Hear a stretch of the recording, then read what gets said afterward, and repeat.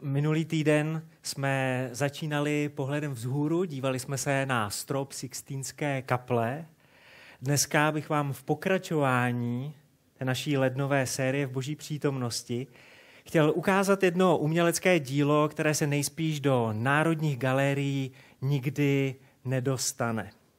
Poprosím o obrázek. Tři roky jsem čekal, kdy si budu moct oblíct tenhle svetr, aby byl tematicky spojený s nedělí, kterou tady společně budeme mít.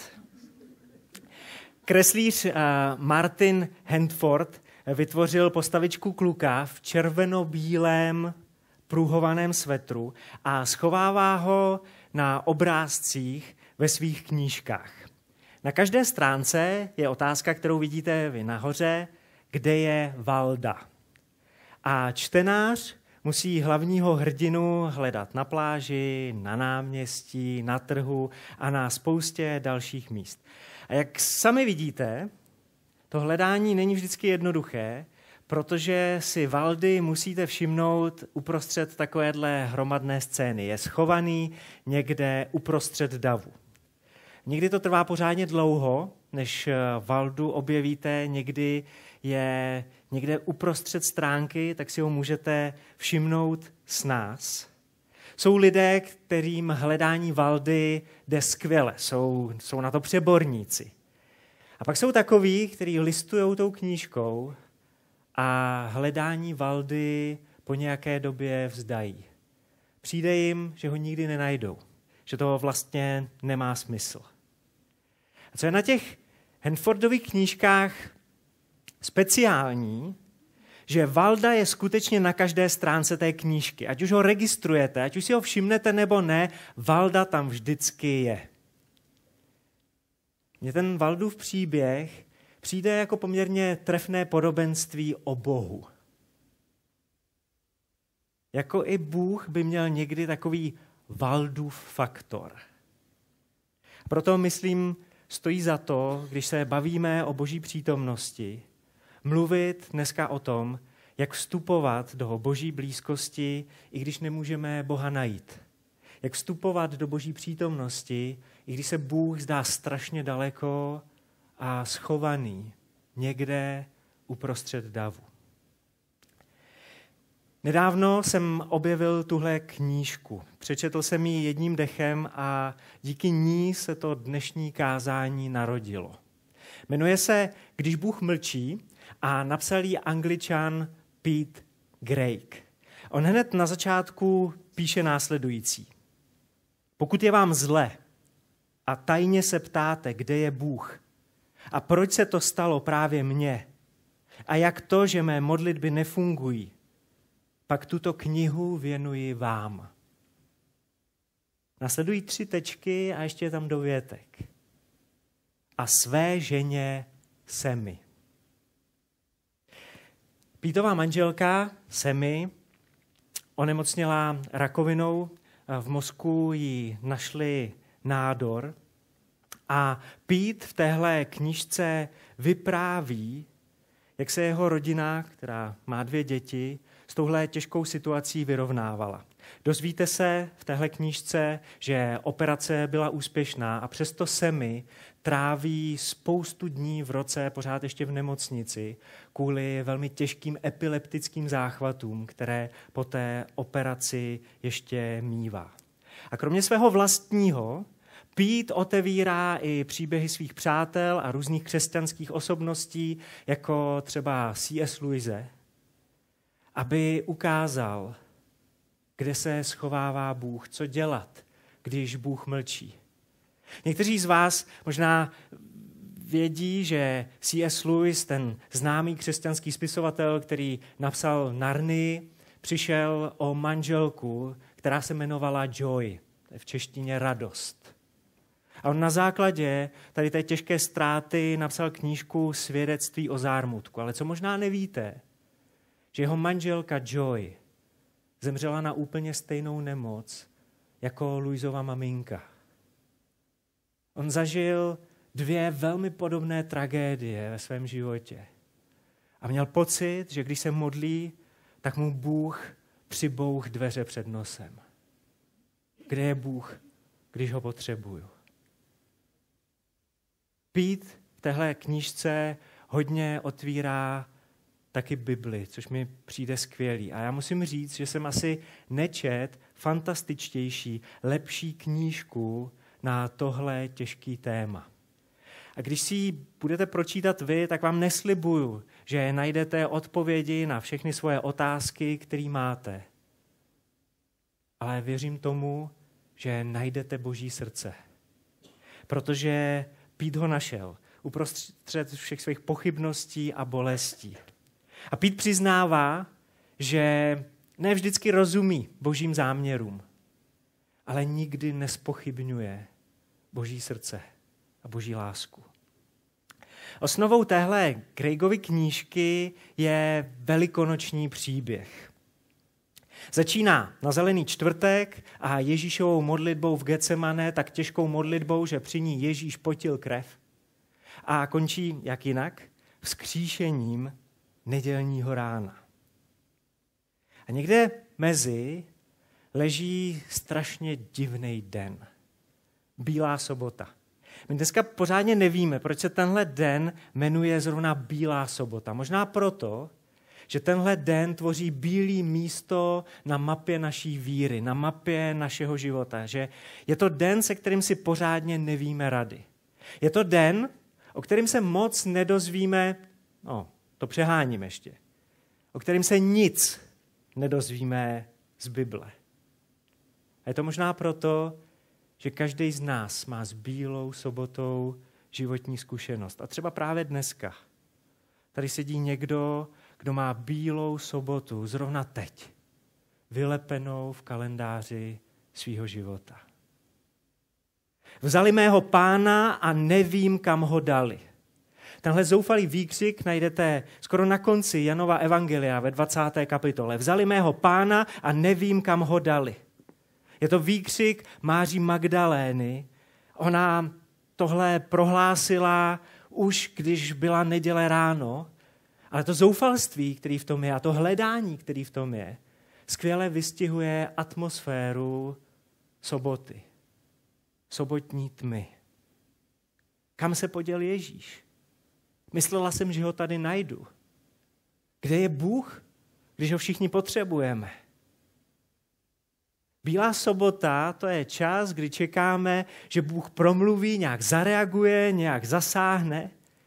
Je to ten divný den mezi včera, kde víme, že Ježíš za nás umřel a za naše hříchy a mezi zítra a my doufáme v ten zítřek, zítřek vzkříšení a zázraků a máme naději, že tam se ty zázraky stanou.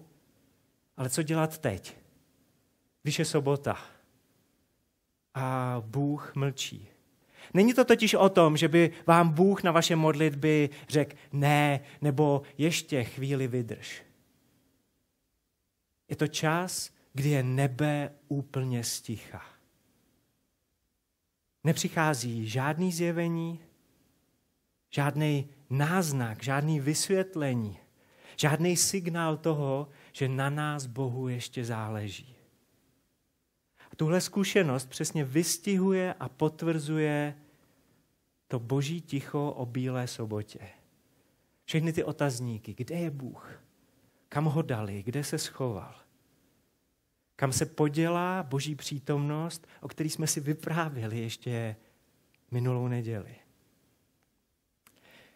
Abych vám dneska chtěl spolu s Pítem navrhnout tři věci, které by vám mohly pomoct s tou vaší bílou sobotou. Abyste tenhle den, tenhle čas, tohle období svého života nemuseli jenom přežít, ale abyste s tímhle časem mohli udělat něco víc. Chtěl bych vám pomoct aktivně vstoupit do božího mlčení, do toho nebeského ticha. Protože i tak se vstupuje do boží přítomnosti. Moc bych vám přál, aby vám ten dnešek pomohl v tom, že svoje zklamání z nevyslyšených modliteb přetavíte v něco tvůrčího. V něco, co najdeme na stránkách knihy knih. Ta první věc, kterou můžete udělat, je ohlédnout se. Ohlédněte se. V božím tichu si připomínejte boží slovo.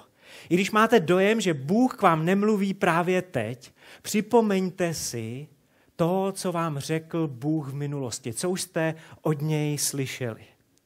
Když Ježíš vyšel, vysel, když Ježíš byl přibitý na kříži a lapal podechu a trápil se, že ho Bůh opustil, tak volal, bože můj, bože můj, proč si mě opustil?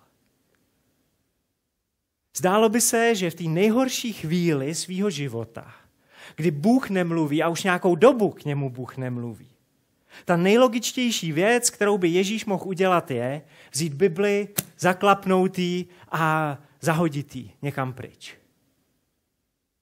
Proč se zabývat božím slovem, když nebe mlčí? Ale Ježíš právě v tu nejhorší chvíli svého života myslí na to, co je v Bibli napsané. A uvědomuje si, že ta agonie, kterou prožívá na Golgotě, byla velmi trefně popsaná stovky let předtím, než on se obětoval. A tak v nejtragičtější chvíli svého života Ježíš cituje Bibli. Když mluví s Bohem, když se modlí, tak přemýšlí nad Božím slovem. Bože můj, bože můj, proč si mě opustil? Proč si tak daleko od mé záchrany, daleko od slov mého sténání? Smečka psů se na mě zbíhá, obstupují mě zlosini. Ruce i nohy mi probodly, všechny mé kosti se dají spočítat. Dívají se na mě, zírají. O moje šaty dělí se, o moje roucho losují. To je jenom pár vět, pár citátů z 22. žalmu. Ježíš se cítí, zoufalé se cítí opuštěný Bohem. Ale ani ho nenapadne, že by on sám opustil Boží slovo. Když Bůh mlčí, je to paradox. Tak šáhnout po jeho hlase skrze Boží slovo jedna z nejlepších věcí, kterou můžete udělat. Když se ten boží hlas a všechny ty boží doteky zdají daleko, jako vyšeptalá vzpomínka, tak je dobrý po Bibli šáhnout, protože i když se zdá, že se to ztratilo, tak božímu slovu nic neubírá na věrohodnosti a pravdivosti. Z těch dnů, kdy jste se vznášeli, kdy vám přišlo, že jste přišli v neděli na schromáždění a kázání vám mířilo přímo do srdce a odcházeli jste s tím pocitem, jo, dneska to bylo pro mě, jestli to nebylo pro nikoho jiného, tak ke mně Bůh dneska mluvil. Když vzpomínáte na tu dobu, kdy jste měli Bibli na nočním stolku a byla to ta jediná kniha, kterou jste tam chtěli mít. A když jste večer šli spát, tak jste se na Bibli usmáli a nemohli jste se dočkat, až ráno vstanete a zase Bibli otevřete a uslyšíte Boží hlas. Teď vám to přijde všechno bez chuti. Kde je Boží přítomnost? Je to podobný, jako když člověka postihne ageusie, chorobná ztráta chuti. Žádný oběd ani večeře pro něj není kulinářský zážitek. Když jde k babičce na oběd, na svíčkovou, tak si to v žádném případě neužije. Všechno mu přijde nemastný, neslaný. Ale stejně potřebuje jíst. Potřebuje jíst proto, aby přežil. Potřebuje jíst proto, aby do sebe dostal nějaký živiny. A když vám najednou Bible připadá mdlé chuti, tak pořád obsahuje ty živiny, které vaše duše potřebuje. Pořád platí. Jaký účinek má Bible, Boží slovo, na váš život. A když si to nemusí zdát na první pohled, tak třeba se to povede na ten druhý nebo na ten třetí. To boží ticho, který kolem vás je, se prolomí, když otevřete Bibli. A skrze Bibli v tom tichu vstoupíte do boží přítomnosti. ohlédněte se. To druhý, co můžete udělat, je rozhlédnout se. Rozhlédněte se. Objevte Boha, objevte Boží přítomnost v lidech, kteří jsou kolem vás.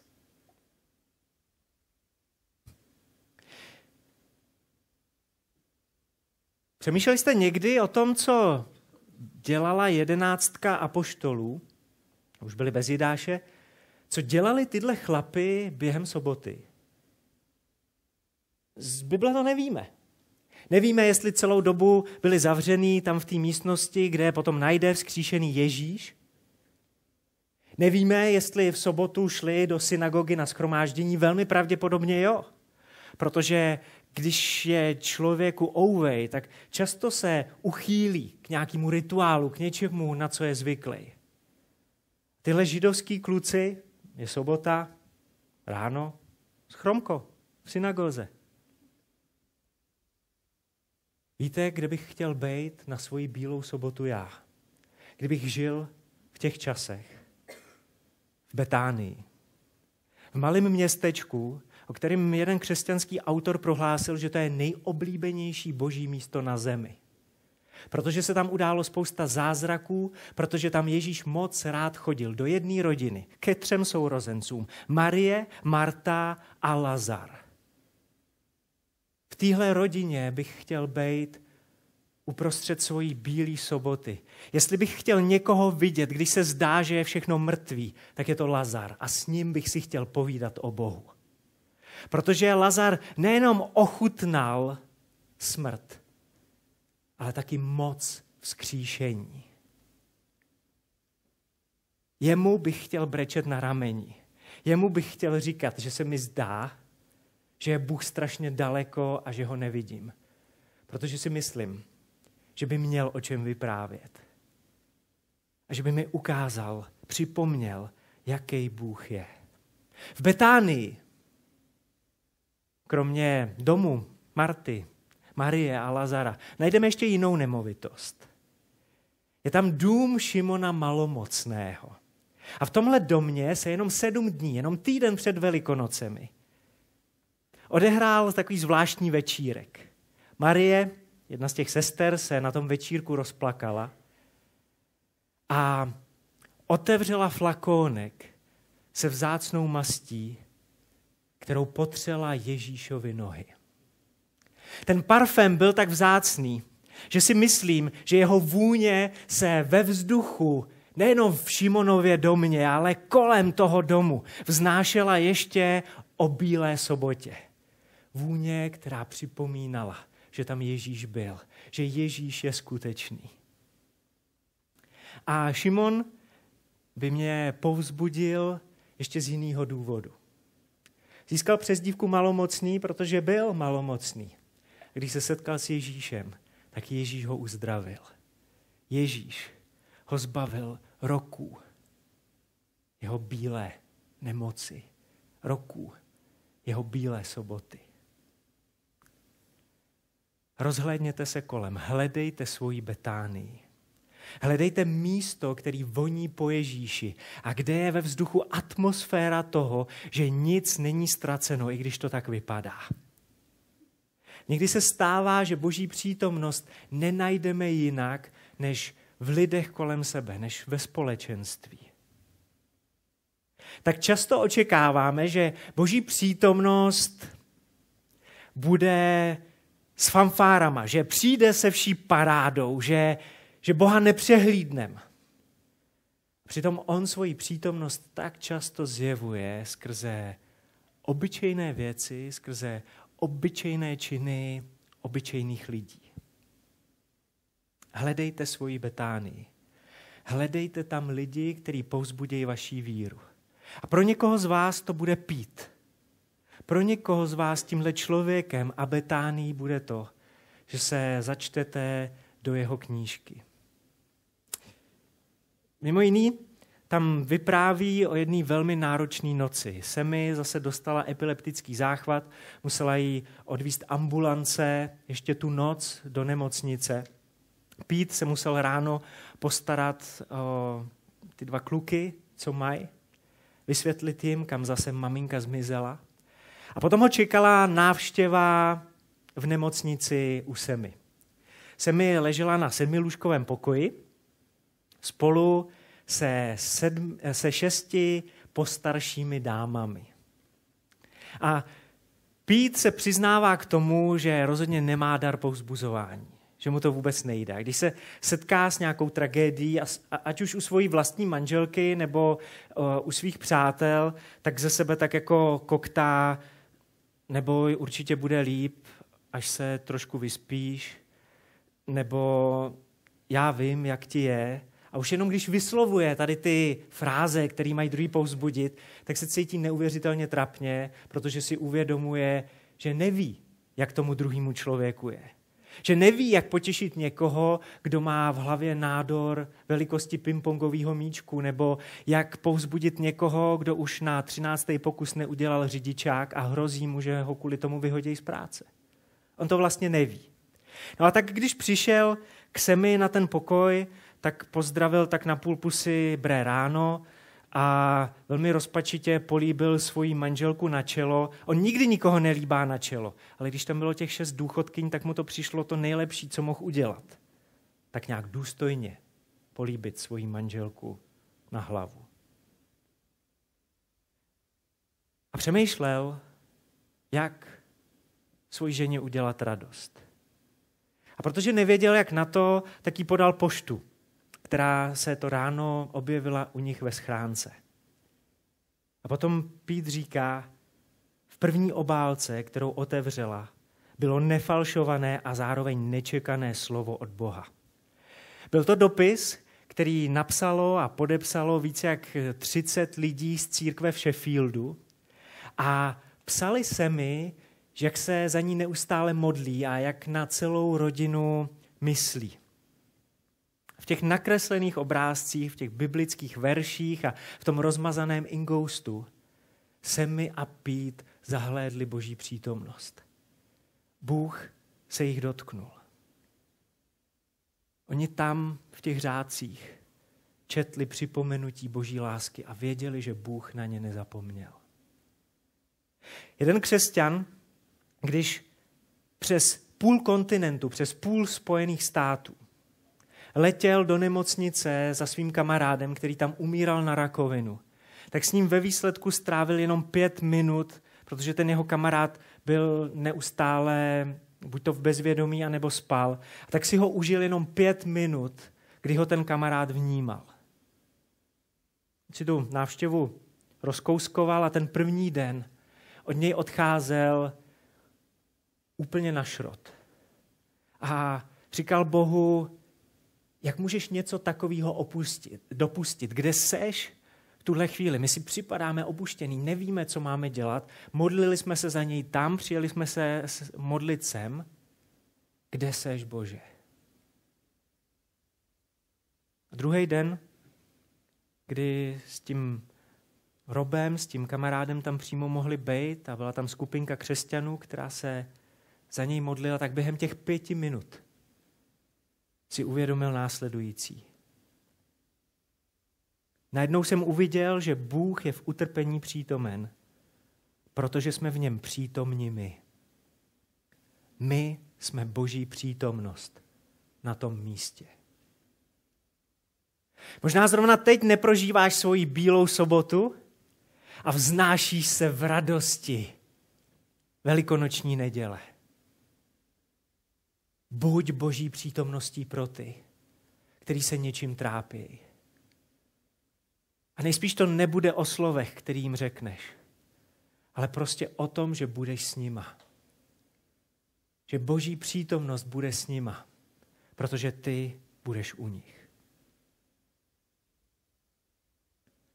Ohlédněte se, rozhlédněte se. A to třetí je, promluvte do ticha nepřestávejte s Bohem mluvit.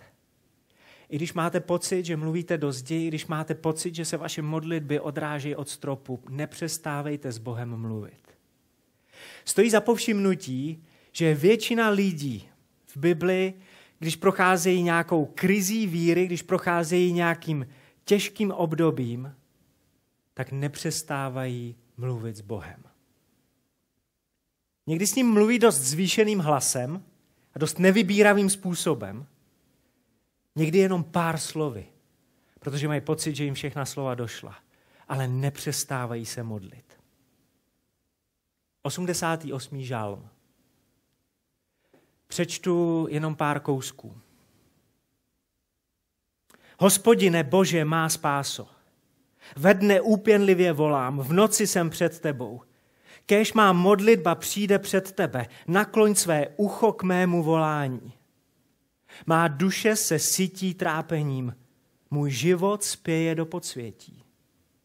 Odložil jsi mě kamsi na dno jámy, do temných míst, do hlubin. Soužením mi ochably oči. Hospodine, každý den tě volám. Vztahuji k tobě dlaně. Já přece volám o pomoc k tobě, hospodine. Zítra k tobě stoupá má modlitba. Hospodine, proč odvrhuješ mou duši? Proč přede mnou skrýváš svou tvář? Minule jsme mluvili o tom, že tam, kde se píše o boží tváři, tam se mluví o boží přítomnosti. Tenhle žalmista totálně necítí boží přítomnost.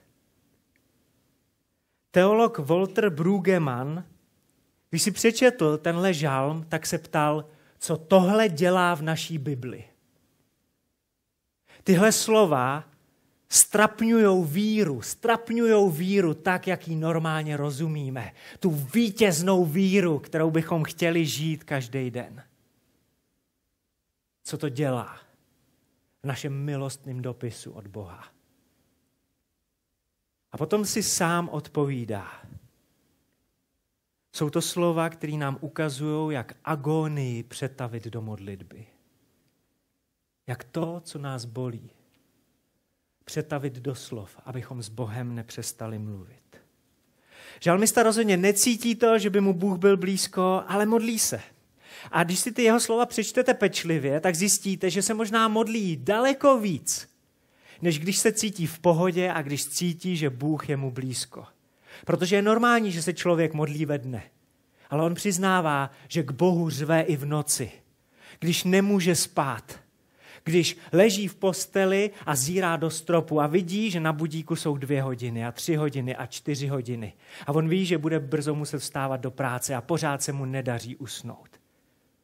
A v tu chvíli si nejde zapnout počítač, aby něco lajknul na Facebooku nebo aby se rozptýlil na O2 TV u nějakého seriálu. Ale tráví ty svoje bezesné noci před Bohem. On to tam říká. Necejtím, že bys tam byl ale modlím se a v tu chvíli vstupuju do tvý přítomnosti. Nebo den před ukřižováním. Ježíš. Ježíš, který se svěřuje svým přátelům, že jeho duše je smutná až k smrti.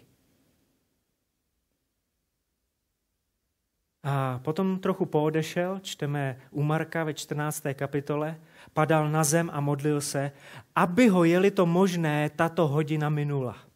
Říkal, Aba, otče, tatínku, tobě je všechno možné, přenes tento kalich ode mne, ale ne, co chci já. PS. Ale co ty?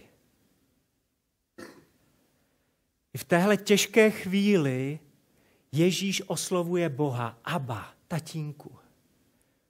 Totálně necítí, totálně neprožívá boží lásku, ale nepřestává v ní věřit. Nepovažuje Boha za nějakého vesmírního sadistu.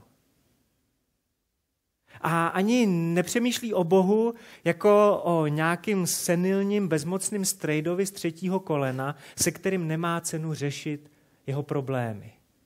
I když už to několikrát zkoušel. Slyšíte to tam? Tobě je všechno možné. Ať už se cítím, jak se cítím, tobě je všechno možné. Ty pořád máš moc, ty jsi pořád všemohoucí, ty máš pořád i na tenhle problém. Nevidí boží moc, teď aktuálně ji totálně nevidí. ale nepřestává v boží moc věřit. A tak se modlí, tatínku, ty jsi mocný Bůh. Ale PS. Ne, co chci já, ale co chceš ty.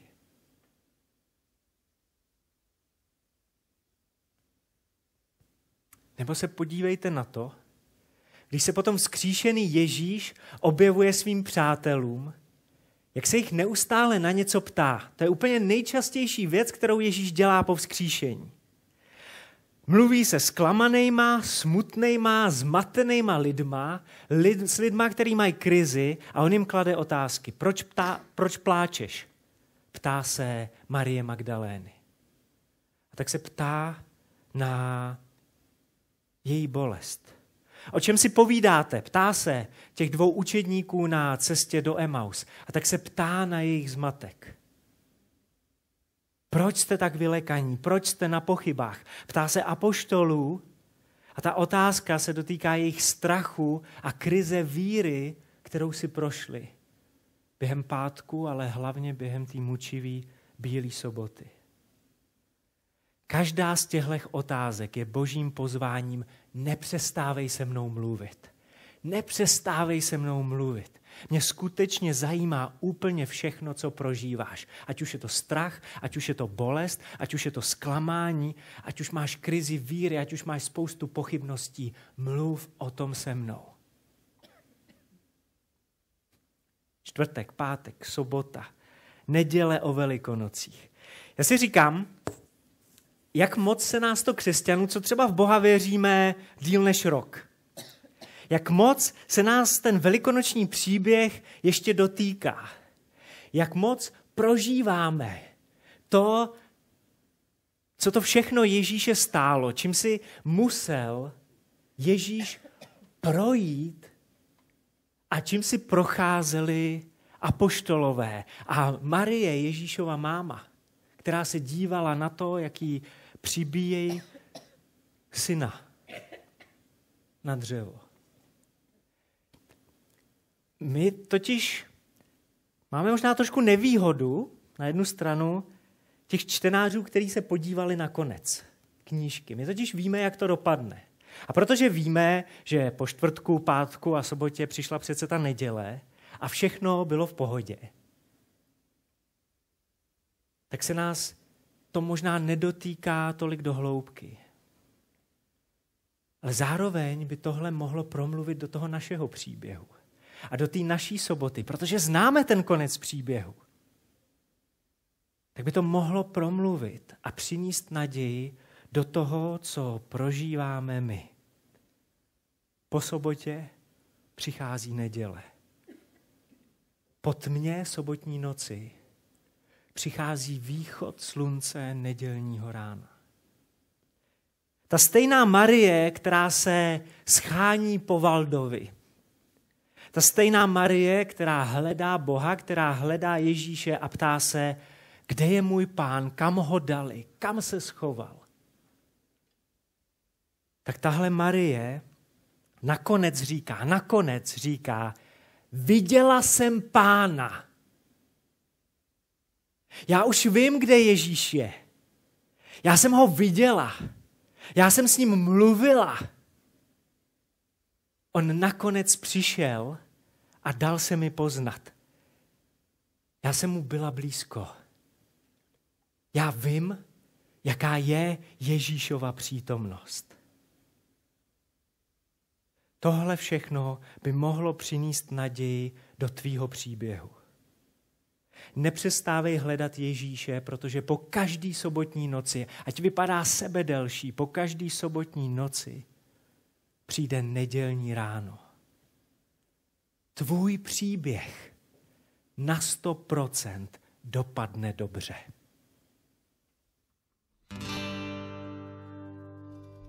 Tvé je vítězství, vládneš navždy, hrob je prázdný, vládneš navždy nám.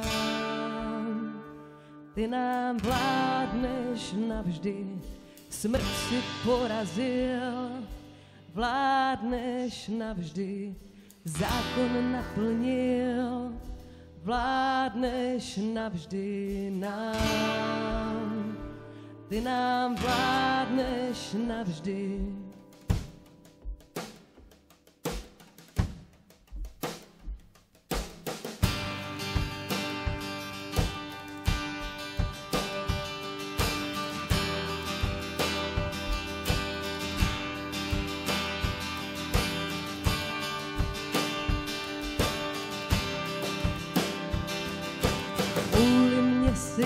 Zemi šel.